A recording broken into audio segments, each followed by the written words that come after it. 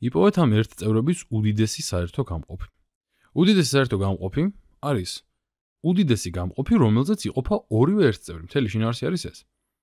ანუ თუ თქვა წმინდა რიცხვებზე ვსაუბრობთ, მაშინ ორივე რიცხვი უნდა იყოფოდეს და ნუ ამ შემთხვევაში გვაქვს ერთ წევრები. ანუ ყველგან უნდა ვიყოთ, როცა უდიდეს ვიყენებთ, ანუ ისეთი ალგებრული გამოსახულების კონტექსტში ეს უდიდესი ცოტა სხვანაირი გაგებით უნდა ვიხმაროთ. ანუ ის ეს უდიდესი უნდა შეიცავდეს ერთ წევრების ყველაზე მეტ გამყოფს. ანუ ის აუცილებლად უდიდესი რიცხვი არ არის. რადგან შეიძლება რომელიმე ამ ცვლადმა თქვა უარყოფითი მნიშვნელობა მიიღოს მაგალითად ან შეიძლება ერთზე ნაკლები მნიშვნელობა გქონდეს. ანუ შესაბამისად კვადრატში აყვანით კიდევ უფრო დაპატარავდება. ანუ თუმცა დეტალები არ არის მნიშვნელოვანი. თავი ის არის რომ უდიდესი იგულისხმება მაქსიმალურად მეტ გამყოფს რომელიც შეიცავს. ანუ თვითონაც გამყოფია ცხადია.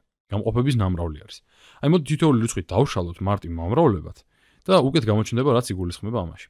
მარტივ მომრავლებაში კიდევ რა იგულისხმება აქ? აქ არის იგულისხმება აუცილებლად მარტივი რიცხვები. ნუ სადაც რიცხვები არის, იმას მარტივ რიცხვებად დავშლით, მაგრამ დანარჩენ რაღაცებს ახლა ნახავთ როგორც დავშლით, ანუ თქვა d კვადრატს დავშლით d ჯერ d-ს დავწერთ და ესეთ რაღაც იგულისხმება. აი მოდი ნახოთ, 10 არის 2 ჯერ 5, ამიტომ დავწეროთ როგორც 2 ჯერ 5. ესე იგი 2 ჯერ 5 გამრავლებული c-ზე, გამრავლებული c-ზე 2 ჯერ 5 გამრავლებული c-ზე. ანუ უბრალოდ წერთ c-ს ნამრავლს, იმიტომ რომ 10 c გვიწერია, ხო? მეც მაინც ვერაფერს უზომთ c-ს. არ ვიცით რა რიცხვია, ამიტომ უბრალოდ წერთ ისევ როგორც c-ს. მაგრამ აი d კვადრატი შეგვიძლია გამომარტივოთ და დავწეროთ როგორც d გამრავლებული d-ზე. აი ეს არის რაც შეიძლება მარტივი სახით ჩაწერა აი ამ რიცხვის. ანუ მარტივ მომრავლებად დაშლა, ოღონდ არა მარტივ რიცხვებად აუცილებლად, არამედ ელემენტარულ შემადგენელ ნაწილებად. ეხლა მოდი ზუსტად იგივე ვქნათ 25-საც. ანუ დანარჩენი ნაწილი უბრალოდ ანუ ეს c-ები და d-ები მეტად ვერ მარტივდება, ხო? ამიტომ c-ბად და d-ბად რჩება.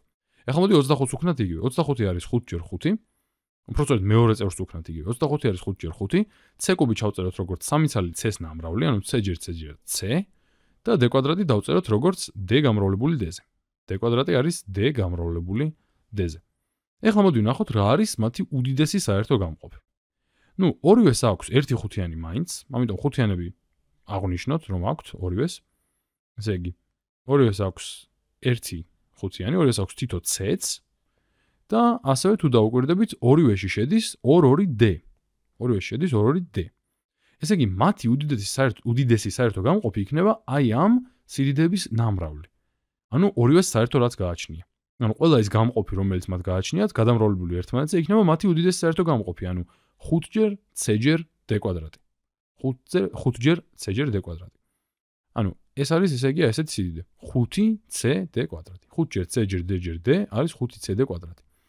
ესე იგი ეს ყოფილა თურმე აი ამ ჩვენი ორი ერთ წევრის უდიდესი საერთო გამყოფი. უდიდესი ისევ ბჭყალებში იმ გაგებით რომ ყველაზე მეტ გამყოფს რომელიც შეიცავს. ანუ თელი შინაარსი ამისი ეს არის. თუ დაუკვირდებით ორივე მათგანი იყოფა ზუსტად აი ასეთ კომბინაციაზე